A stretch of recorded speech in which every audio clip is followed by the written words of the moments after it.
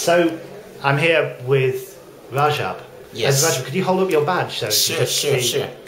Um, great. So and you're junior rapporteur here Exactly. at the event. Well, tell, tell me why you're here and what you're doing.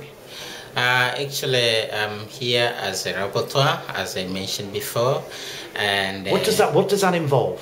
Uh, I'm involved as um, um, on the topic of uh, coping to climate change, and uh, my responsibilities for this kind of activities is to to tape the all the information that is required, and those are presented from the different presenters, and then we we summarize them, and lastly we write a report so that the different audience who are not here in Stockholm, I mean who are not here in this conference, they can get the message. Yeah. So So, and you, you, you study at the Swedish University of Agricultural Science. I mean, I presume digesting a lot of the things here about climate change it requires quite a lot of expertise. So, what, what did you study? uh, my background is uh, integrated water resource management, and uh, I'm just a graduate researcher from Swedish University of Agricultural Yeah. Science, as Yeah. I mentioned, and uh, I have been involved to this kind of climate change issues. I have been blogging for a couple number of years on this kind of uh, climate changes. Uh, so, in short, they have uh, a cup of experience Yeah. based on the climate change. uh, uh, so where are you? You're, not from Sweden originally, I assume. And where, where are you from? Um, I'm from least developing country, which is Tanzania, uh, located in the eastern part of Africa. Uh, of course, it's one of the country which is most vulnerable to climate change issues. Uh, specifically, we are faced with the issue of uh, flooding. Uh, sometimes we are faced with the issue of uh, drought, especially in the central part of Tanzania.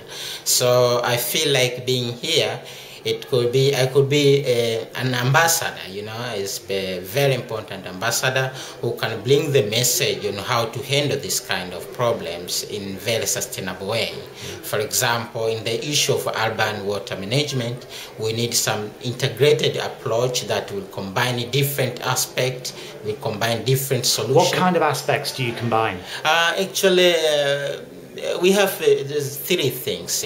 We need some capacity for the uh, institution itself. And when you say capacity, people say capacity building here. Sometimes I don't understand what that means. Uh, capacity building it means that you you lays uh, the people's know-how, you lays the people's their knowledge, so that they can respond positively. They can respond Yeah. the issue of climate change with a positive, uh, you know. Okay, so that's one, and Yeah. then you were said there were some others.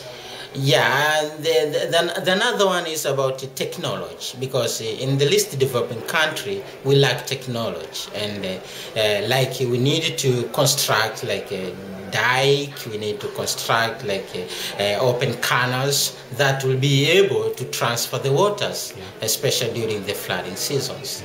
So and uh, also we need some more financial support from the developing from the developing country, uh, so that we can construct the reservoirs uh, to store our water resources, so that we can be able to supply the, the cities. Well, it's great to meet you, and I know we're, we're hoping to meet some other rapporteurs this week as well who are involved with this. But and come back and tell us about some of the things you've learned later in the week, if you like. As Okay, well. thank So, you very much. Thanks a lot. Yeah, Thanks. thanks. Wonderful.